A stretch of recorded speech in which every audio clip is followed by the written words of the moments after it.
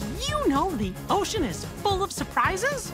Today, we'll see some amazing animals that look or act in surprising ways. Hi, everybody! Bunny and I are about to explore amazing animals in their habitats. That means where they live. It's like their house, their home, sweet home. That's right! So come on and join us for Disney Animals in the Funhouse. Today's special house is the ocean.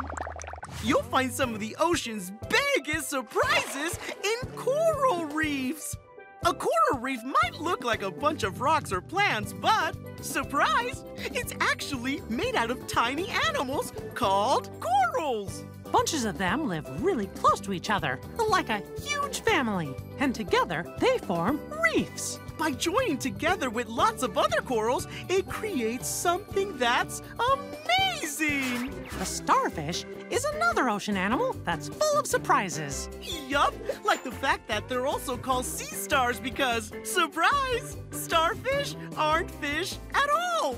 And it can do something super cool.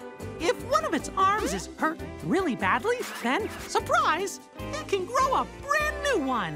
What's surprising about this clownfish?